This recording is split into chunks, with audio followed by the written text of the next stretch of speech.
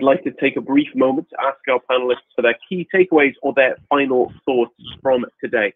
Eric, we heard from you first. Perhaps you want to lead us off with a few of your final thoughts.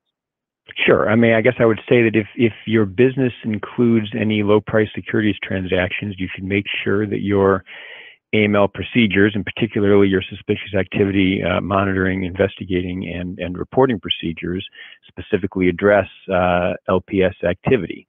Uh, and in, in developing those procedures or enhancing them, if, if you already do have them, you, would be well advised to provide for more robust uh, monitoring and investigative methods than might be used for other lines of business that are that perhaps involve less AML risk. And and and finally, I would say, regardless of business line, um, it, it's important that your AML compliance uh, personnel communicate with your other compliance personnel um, and and also that that relying exclusively on third parties for aspects of one's AML program may not insulate the firm from being charged where where those third parties don't live up to the regulator's expectations for AML compliance.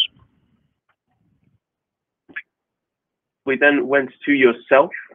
Uh, perhaps you want to give us a few of your key takeaways, Stella. Sure.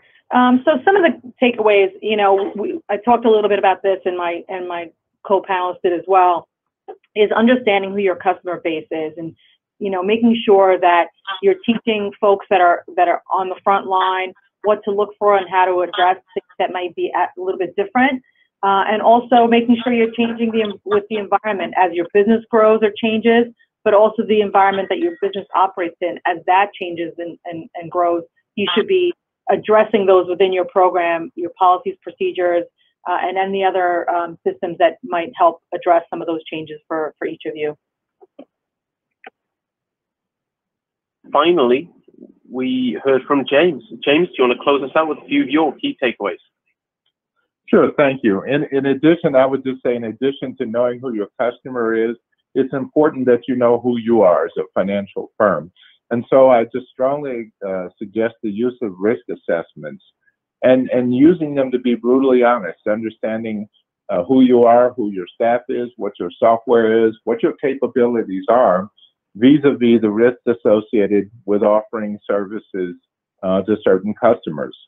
It's not, there's no shame in saying we can't do this one. This guy is way ahead of us, or this uh, this woman is way ahead of us it's much better to be able to say these are the customers we can serve based on uh, our infrastructure, our resources, and our capabilities. But high risk doesn't mean uh, that you can't do it. You just have to be able to do it well. Thank you.